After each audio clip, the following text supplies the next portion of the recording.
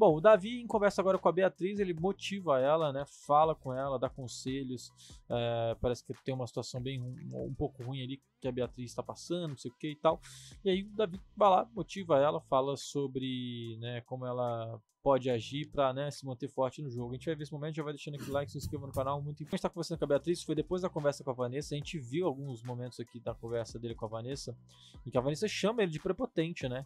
E aí, basicamente, isso é uma resposta direta a isso, né? Tipo assim, não é prepotência, é confiança, ou seja, ele já passa um conselho para Beatriz e ao mesmo tempo já responde a Vanessa diante do público, entende? Porque não adianta nada de chegar na a Vanessa vai lá, tá metendo pau nele, na conversa direto com ele. Não adianta ele falar, Vanessa não é prepotência, Vanessa é confiança.